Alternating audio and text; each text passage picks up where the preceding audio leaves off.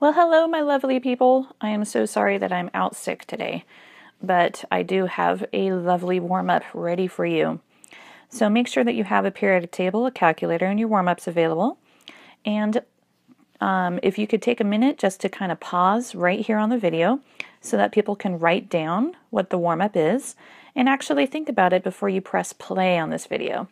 So at this point, I do want the sub to just kind of pause right here so that people can write down the question and actually think about it before we start. All right. Okay, so hopefully now you're ready to think about this question now. So the very first thing that you guys have to think about is what is the balanced reaction? And obviously this question has to do with the mini rocket lab that we started last class. So the very first thing that you have to realize is that you can't do any work yet on this question until you actually have a balanced reaction. So I'm going to refresh your memory and we'll take a closer look at the problem itself. So I'm going to refresh your memory on that balanced reaction. So um, we had some hydrogen gas and some oxygen gas reacting to make some water. Okay, so there's the reaction. And to balance it, what we had to do was to place some coefficients in front of the hydrogen and in front of the water. Okay, now, in the warm up, it said that you guys had to figure out the maximum amount of water that can be made when you have one part of hydrogen and five parts of oxygen. And they want to know the maximum amount of water that can be made. So you're going to need to do a stoichiometry problem that'll take you from parts, which really, really in this case, we're talking about moles. Okay, we're not, when we say parts, we're actually talking about moles. And when you were filling up those rockets with various uh, ratios, I hope you realize that those ratios were kind of like mole ratios. So if we take a closer look at the little rocket that you guys were filling up, you know, and we had um, some ratios going on here. Technically, in this problem, what you are doing is you're filling it up with a certain amount of hydrogen and a certain amount of oxygen.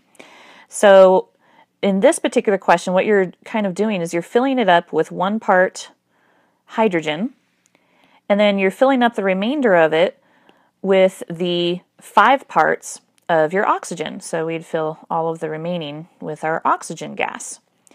And when we allow the hydrogen and oxygen to burn, Obviously, we're going to make some of this stuff in the inside make some water, right?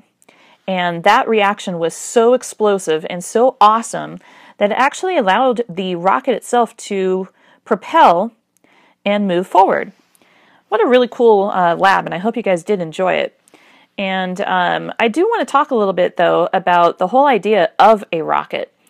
Now, if we, as Americans, you know, we're trying to uh, think about, you know, actual rocket science here.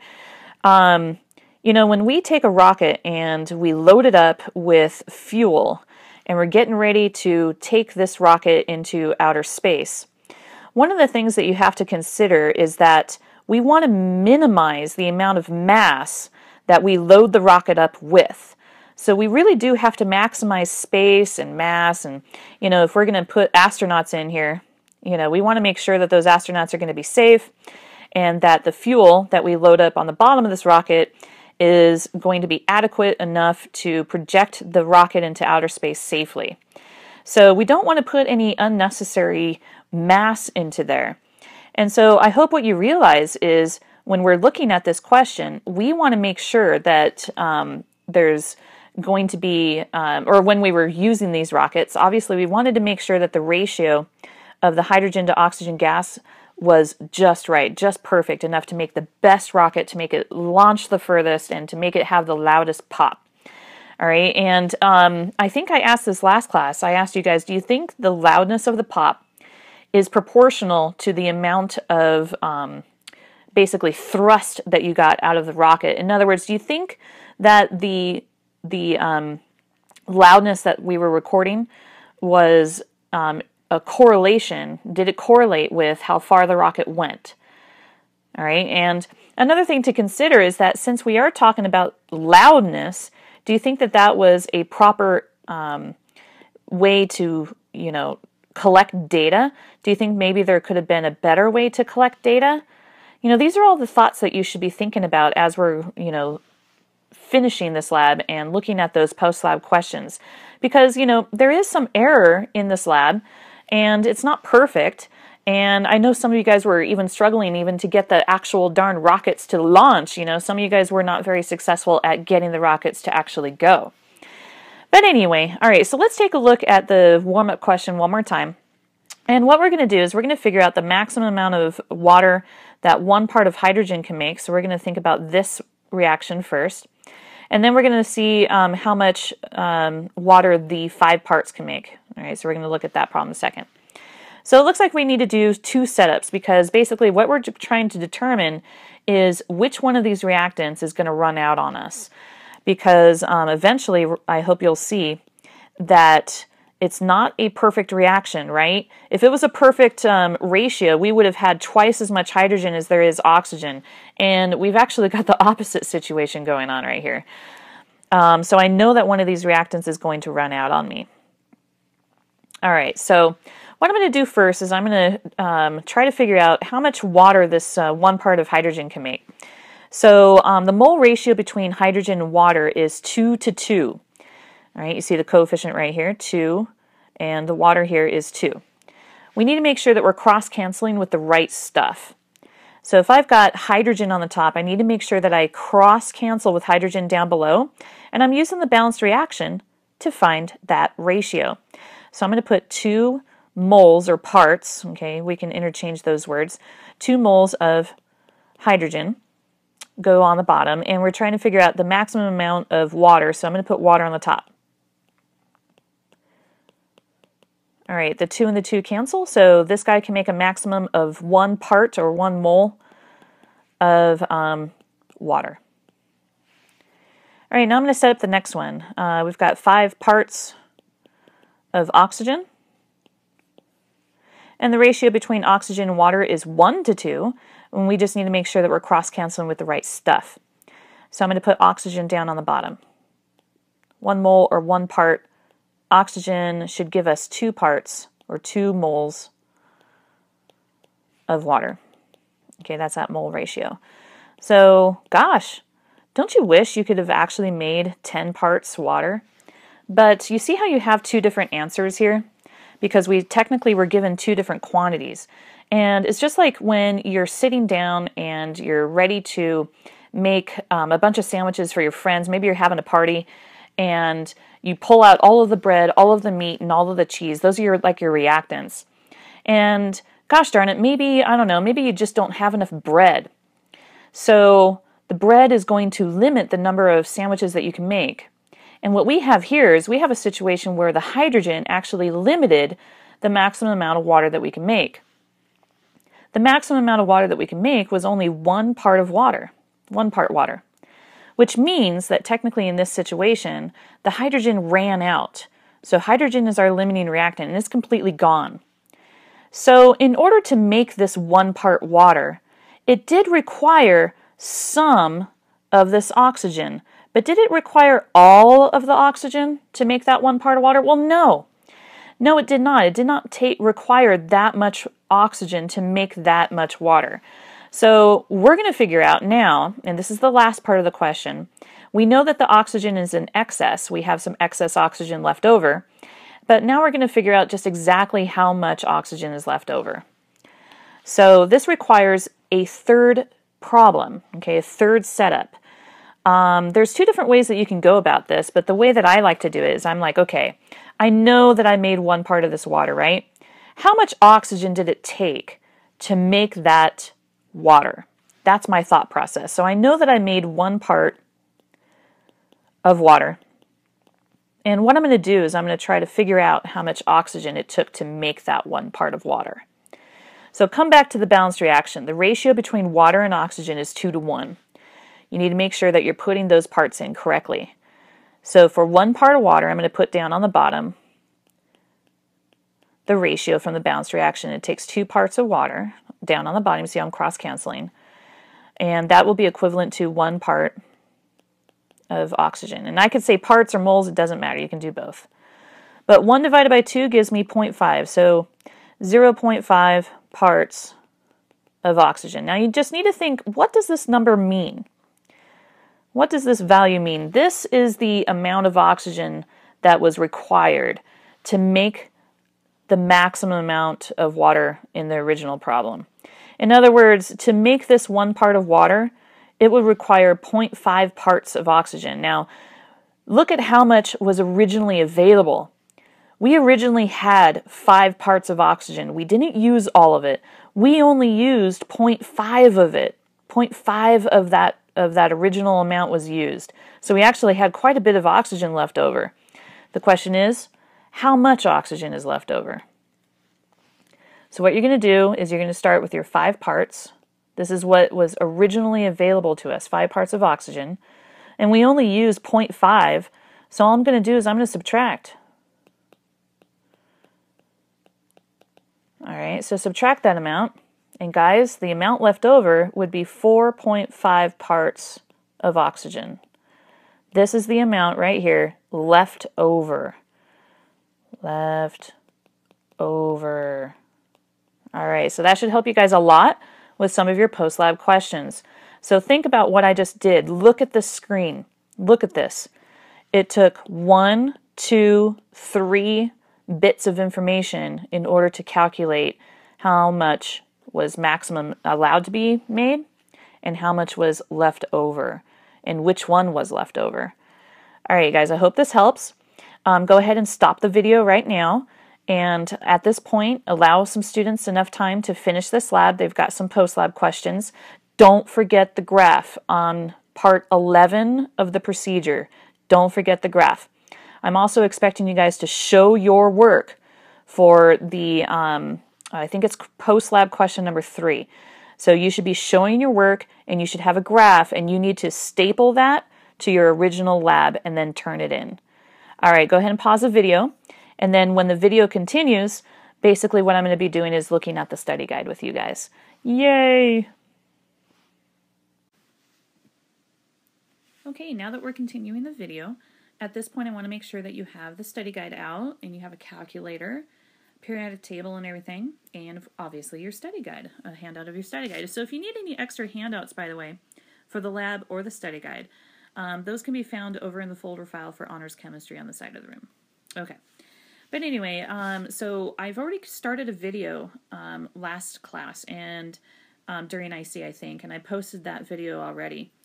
Um, what we're going to do now is just continue from where I left off. So I'm checking out question number five at this point. All right, so question number five. It says if 4.6 grams of hydrogen peroxide decomposes into water and oxygen gas, how many molecules of oxygen gas can I produce? So obviously we have to start with the balanced reaction. We can't do anything without a balanced reaction. And I think by now you're pretty familiar with the formula for hydrogen peroxide is H2O2. All right, so um, we've already shown how to balance this, but I thought I'd just kind of inspire you one more time just to kind of look at it. Over on the left, you have um, two hydrogens, and over on the right, you also have two hydrogens, so that's set. Over on the left, you have two oxygen, but then over on the right, careful, you've got one oxygen on that water, and you have two oxygens on the actual oxygen gas. So over on the left, you have two oxygens, and on the right, you actually have three. All right, so think about how to balance that, okay? Um, it's kind of tricky, but over on the right side, you see that, that lone oxygen sitting on the water. It's just sitting there by itself. Well, on the left, no matter what you do, you're always going to have, you know, an even number of oxygens. So you have to make it so that on the right side, you're somehow going to have an even value for the number of oxygen atoms. So if you think creatively and kind of think clever here, what we're going to do is we're going to have to get an even value on the number of oxygens on the right hand side. So the best strategy here would be to take this lone oxygen that you see right here and let's go ahead and mark it up. Let's get let's get some more oxygen going right there. Okay, but when you marked up that uh, oxygen on the right-hand side, um, yeah, you got like uh, two oxygens here, two oxygens here, so that gives you four oxygens total. But um, what you also unfortunately did is you also increased the amount of hydrogen. So now you've actually got four hydrogen And look, grand total four oxygen on the right. So now I'm just going to balance that out by sticking a 2 over there. All right, so the question started us with 4.6 grams of hydrogen peroxide and is asking us to get to molecules of oxygen. So starting on the uh, with what they gave us, which is the 4.6 grams H2O2, I'm going to be doing a dimensional analysis problem that should make me end with molecules of oxygen. So we're going from here to here, and we are going to make sure that we start with mass but end in molecules on this side. All right, so you're starting with mass. Remember, we can't do much with mass. We love, um, however, we love moles. So we're going to have to convert that mass into moles so that we can use the balanced reaction, which is mole ratios. All right, so take a minute. Um, I've got a couple oxygens, got a couple hydrogens, um, and I'm sick, so I'm sure I'm going to be making mistakes. I really hope I don't make a mistake in the video, though. So I'm going to double check myself. I got a molar mass of 34 grams for the hydrogen peroxide. So 34 grams is equivalent to one mole of hydrogen peroxide. You always have to cross cancel grams with grams. So I'm going to put that 34.0 grams down on the bottom. And remember, that's equivalent to one mole of this stuff. Okay, now that I got rid of my grams, I need to make sure that I cross cancel with the correct moles of stuff because now we're in we're ready for the mole mole ratio. Once you hit moles, you can get into that mole mole ratio. So come back up to the balanced reaction. Mole ratio here is 2 to 1. Make sure you're cross canceling hydrogen peroxide with hydrogen peroxide. So from the balanced reaction, there's 2 moles of hydrogen peroxide for every 1 mole of oxygen. So just cross cancel correctly. I'm going to put hydrogen peroxide down on the bottom and oxygen on the top. Okay. Bravo. Mole hydrogen peroxide, mole hydrogen peroxide crossed off. Now we just need to end in molecules. Okay, don't let the word molecules scare you. You guys know what to do. How many molecules are in a mole? That's right, Avogadro's number, 6.02 times 10 to the 23rd. So you have moles on the top. You have to put moles down here. And you should just remember that that big fat number, 6.02 times 10 to the 23rd, is equivalent to one mole of stuff. So I'm going to put one mole of my oxygen is equivalent to 6.02 times 10 to the 23rd, and that's molecules. All right, there you go. So here's the setup, here's the plan. Anything on the top gets multiplied and anything on the bottom gets divided. All right, take a minute to see if you get the right answer here. Hold on. All right, I got 4.0723, and it keeps going, times 10 to the 22nd. Um, mole ratios don't count for um, sig figs. So this initial mass of 4.6 is really going to limit us on our um, ability to report values. So I only want to report two, but I'm just going to check that last guy to see if I need to round up. And you do.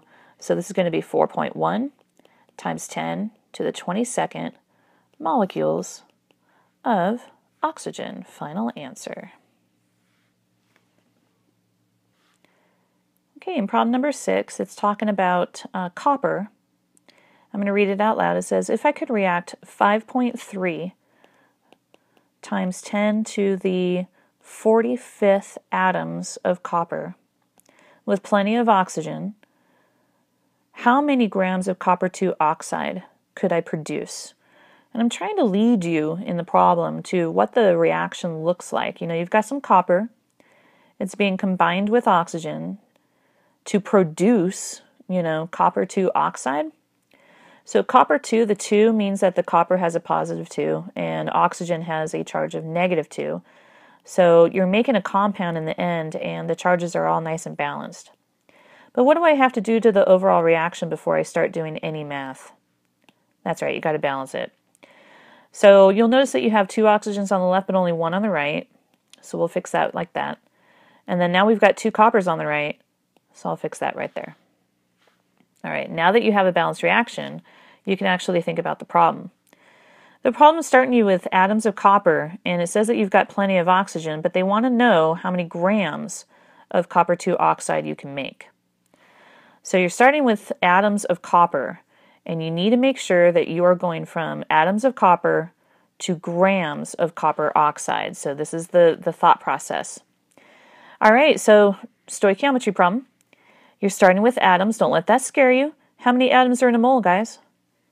Just always ask yourself that. It's like you're trying to get to moles. We need to get a mole-mole ratio, right? So there should be 6.02 times 10 to the 23rd atoms in a mole of copper. There you go. So atoms, atoms crossed off. Now that you're on copper and uh, you're on moles of copper, we can jump into a mole-mole ratio. Looks like the mole-to-mole ratio between these uh, two is 2 to 2. You just need to line it up correctly, okay? So if we've got moles of copper on the top, we got to put moles of copper on the bottom. And I'm using the balanced reaction to figure out what that ratio should be. So for every 2 moles of copper, we should make 2 moles of copper oxide. One more step. Because they didn't want us to figure out how many moles of copper oxide we can make. They wanted us to figure out how many moles, or I'm sorry, how many grams of copper oxide. Okay. So find your periodic table and let's just get the molar mass here for copper. Copper is 63.5. All right, so I'm going to take 63.5 and I'm going to add my oxygen, which is 16. I got a molar mass of 79.5 grams. So where should I put the 79.5 grams at the end? This is what one mole of copper is equivalent to. So that's right, you got to cross cancel your copper oxide. So for every one mole of copper oxide, it should weigh 79.5 grams. There you go. Now you're all lined up, okay? So let's solve this. Take a minute, grab your calculator. And make sure you're typing in that uh, scientific notation correctly. You're going to type in 5.3 e to the 45, and then you've got to divide that by 6.02 e to the 23 because that number is on the bottom. All right, and the twos and the twos kind of cancel. So I'll just kind of skip over that. All right, so I get an awful lot of grams, and I'm going to explain why that makes sense. Hold on. Times 10 to the 23 grams. All right, this is kind of crazy. Um, let me just double check that one more time. I think that's right. 5.3 e to the 45, 6.02, 3, and then times 79.5. Yeah, okay. All right, so um, let's see, I'm looking around here. Probably two sig figs, one, two. Do I need to round the last one up? Yes. And when it does round up, all right, it's going to change the 9 to a 0 and then increase that 6 to a 7. So this is going to be 7.0 times 10 to the 23 grams of copper oxide. Okay. And the reason why this kind of makes sense is because if you look at this initial um, number of atoms, you see this uh, times 10 to the 45, and then you're dividing it by 10 to the 23. That still leaves behind quite a few atoms. Okay, quite quite a few, and uh, that's why it's going to be several moles of copper. All right, so that one's all done. All right, in question number seven, it says if I react calcium acetate with potassium carbonate, what will be the precipitate? All right, so I hope you have your periodic table. Let's take a look at calcium, element number 20. What's calcium's charge going to be? It's a positive 2. And it says calcium acetate. So you got to find the acetate ion. Eights and ites are on your list. Acetate is C2H3O2 and it has a negative 1 charge. Right, acetate is obviously polyatomic, and it looks like we need more than one. So we're going to wrap that guy in parentheses and put a 2 on the outside, just to balance the charges. All right, so it says calcium acetate is reacting with potassium carbonate.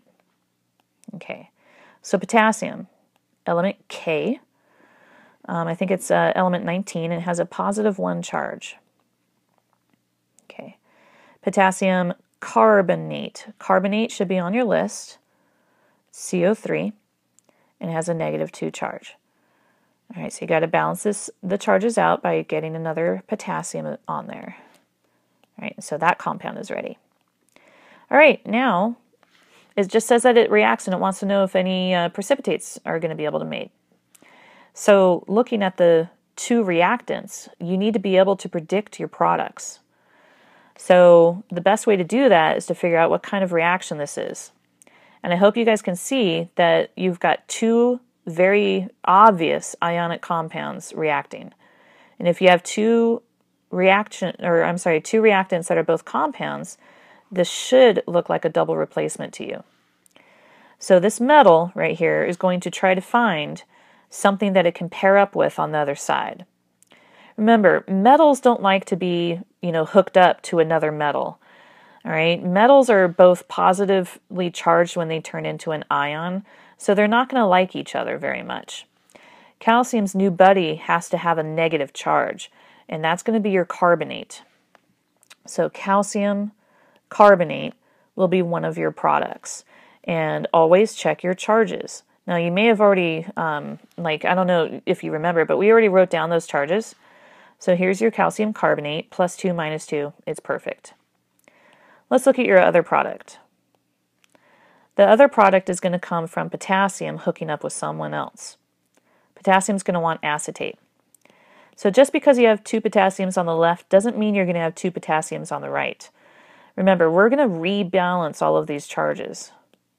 Uh, C, sorry, C2, H3O2. There we go. Potassium is positive 1, acetate is negative 1. Okay, so that compound is balanced. Now the whole reaction is not quite balanced yet. Okay, we can take care of that real quick. Um, over on the left, you see this acetate ion, the big fat ion. Where'd it go? Here it is. On the left, you only have one, but on the right, or I'm sorry, on the left you have two, and on the right you only have one. So I'm going to make two acetates by sticking a two in the front. All right, um, let's see. You have two potassiums on the left, but now that I place that coefficient in the front right there, you also have two potassiums on the right. One carbonate on the left, one carbonate, one calcium, one calcium. So the reaction is all set. All right, now they just want to know if a precipitate has been made. So all you guys have to do now is check your solubility rules. Okay, and that's on the back of your periodic tables. Easy. Um, if you look at your solubility rules, it says that all acetates are soluble. Remember what soluble means, okay? Soluble means able to dissolve. And do you guys remember the um, symbol for something that is able to dissolve? Yeah, it's AQ. That's the symbol. AQ means aqueous. This is a good review. Now, if something is not able to dissolve, we sometimes say it's insoluble. Insoluble means unable to dissolve. And if it's unable to dissolve, that means it should be in the solid state. So we'll put a little symbol of S, and S stands for solid. All right, so um, on your solubility rules, it says that all acetates are soluble.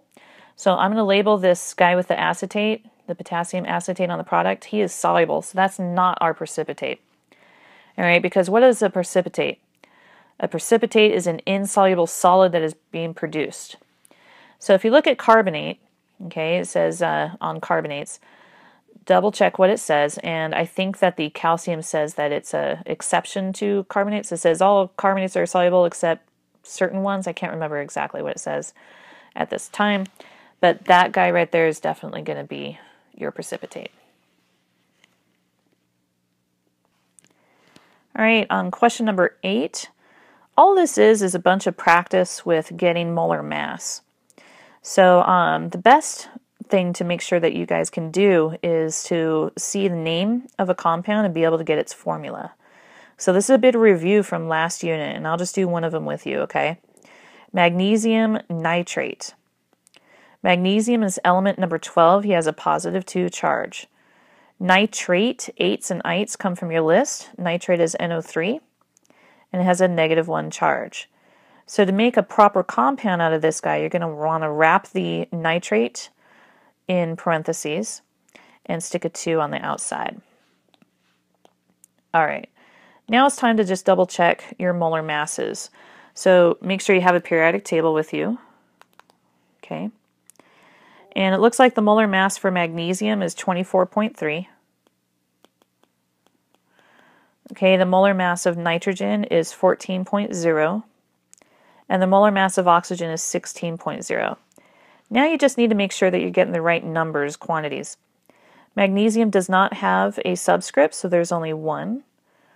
The 2 is on the outside of these parentheses, right, for the polyatomic ion. And just like in math, whenever you have a number on the outside of a parentheses, you have to draw it inside. Okay? So you actually have two nitrogens and six oxygens. Okay, so at this point, you can either use a calculator or whatever you want, but um, multiply this out, and let's see if you get the right answer. This is just really good practice for you guys. All right, and I got a grand total of 148.3 grams per mole. All right, I'm not going to do all of these. You guys can continue to work on that on your own. I'm going to actually skip ahead to problem number nine.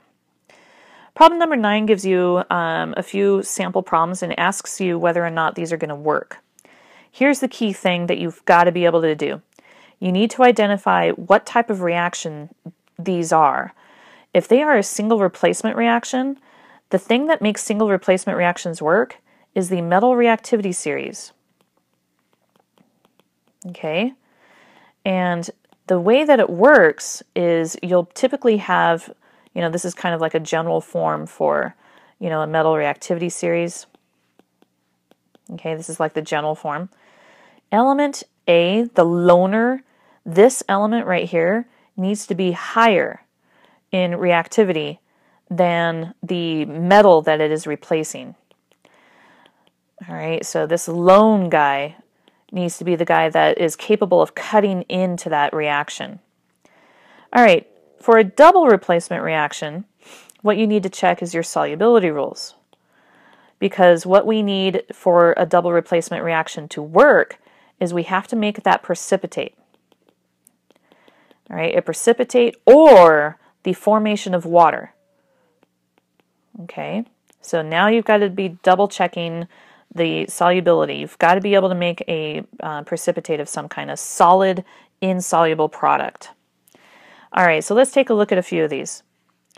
Uh, part A says that you've got copper trying to cut in on silver nitrate. So this lone metal has to be higher in reactivity. So take a pause and double check your metal reactivity series. All right, so copper is definitely more reactive than silver. So this reaction is going to work. You are going to make some copper nitrate, and then the silver is going to pop off and be alone. You just have to check charges. Now, copper can have multiple charges. I think I remember telling you that it's typically a positive 2. Nitrate here is a negative 1. So to make this compound, you know, neutral, I'm going to have to go like that. And to make the entire reaction balanced, I'm going to have to get a couple nitrates on the left, and then because I put that 2 in front of something that has silver, I'm going to need to put a 2 on the right. And this reaction does work. All right, now I'm going to skip down to F and take a look at this reaction. What you've got is you got silver nitrate, and looks like lead acetate, C2H3O2. And you got to double that. Okay, now, in order for this particular reaction work, this is a double replacement, we need to be able to identify some kind of precipitate in the product side. So I'm going to rearrange everything. Silver is going to be looking for a new buddy, and that's going to be your acetate ion. And if you want to check your charges, your silver is plus one, acetate is minus, oops, sorry, minus one. So this is a beautiful balanced uh, compound. Let's see what the other compound is going to be. Who's lead going to be hooking up with? Yeah, nitrate. Now, if you're curious about the charge of lead, um, you see how there's two acetates on there? If there's two acetates, each acetate is negative 1, and you see how we use two of them? That means that this lead has to have a positive 2 charge. Nitrate always has a negative 1. So I'm going to go like that and predict my products. Yeah, get that get that compound's um, formula correct. All right, now check your solubility rules, and this is going to be kind of interesting. All right, in the solubility rules, um, this is an acetate. It says all acetates are soluble with no exceptions. Now look at nitrate. It says all nitrates are soluble, no exceptions. Remember, soluble means aqueous, able to dissolve. So if both of these guys are aqueous, did any reaction happen? Nope, no reaction happened. This reaction does not work. NR. Why? Because you have all soluble products. All right, guys, um, I'm going to show you one more problem, and it's towards the bottom. I realize that I am skipping, but I'm sure you guys have questions on this one. All right, so I'm skipping all the way down to the bottom. I'm going to check out problem number 12. Okay, in problem number 12, it says balance the following reaction and then analyze the picture and actually draw out the resulting products. And be sure to include any excess or leftover reactant that did not react fully. All right, so the reaction in question is this. We've got uh, CH4 and then O2. And I hope you guys realize what that looks like. That looks like a combustion reaction. And it should be making CO2 and H2O. So take a pause and we got to balance the reaction. Remember, we can't do anything without a balanced reaction. All right, so I see two, or I'm sorry, four hydrogen on the left, but only two on the right. Okay, so let's balance that out. Okay, and that gave me a total of four oxygens on the right. So I'm going to balance it out right there. Okay, so at first this might seem a little bit confusing, but um, let's take a look at what you have available to you. This is just like your micro rocket lab. Basically what we have is we have three parts, if you will, of CH4, right? Because I see three molecules, one, two, three. And then if you look at the O2s, it looks like I've got, let's see, one, two, three, four, uh, five, six, seven, eight. Looks like I have eight, if you will, parts of O2. All right, and uh, basically we're going to do the same thing that we would normally do in any kind of, um, like we did in the micro rocket lab. And you see how like we got to figure out how much of everything that we made. So you can either um, like literally draw in your products and think about how those atoms are going to rearrange, or you can do just a little bit of math. So if I have three parts, and I'm going to abbreviate three parts, CH4. Why don't we go ahead and figure out, um, let's just go to CO2. Let's go to CO2 on both of those. Let's figure out how much carbon dioxide um, each of these is going to get. So I'm going to also do my eight parts of O2. Okay, and on both of these, I'm going to go to CO2 just to see the maximum amount of CO2 that I can make, okay? So if I have three parts of CH4, for every one part of CH4, it looks like I can make one part CO2.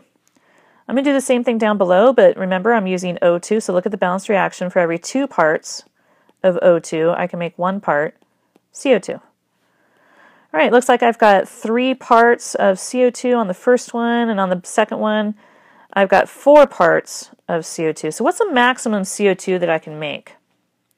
Looks like the maximum I can make is three parts CO2. All right, so when I draw my, my end um, in my end picture, looks like I'm only going to be able to make three CO2s. So this is what carbon looks like, right? Just a black one. And see, oxygen was that gray thing. So I'm going to draw two gray things attached. Now, how many of these can I make? Max? Three. So in my final drawing, I'm going to make sure that I have three of those max. So it looks like all of the CH4 is going to be gone, right? Because that was my limiting reagent. So in my end picture, the CH4 has to be gone. But now I hope you realize that the oxygen should be left over, right? Did we use all of the oxygen to make these three CO2s? Well, no. Let's figure out how much oxygen I actually had to use. So I know that I can make a maximum of three parts CO2. Okay, let's try to figure out exactly how much oxygen it took to make that. All right, so look at the balanced reaction for every one part CO2. Looks like um, for oxygen, I need two parts of oxygen. All right, so that's going to give me six parts of O2. So did I have six parts to begin with? No, it looks like I have eight. You see, we counted over here, eight of them. but it only took six of them to make our three CO2s. So I'm actually only going to be drawing in my final picture. It looks like I'm only going to be um, drawing an additional, see how we originally had eight and we only used six. I better be able to see two O2s left over.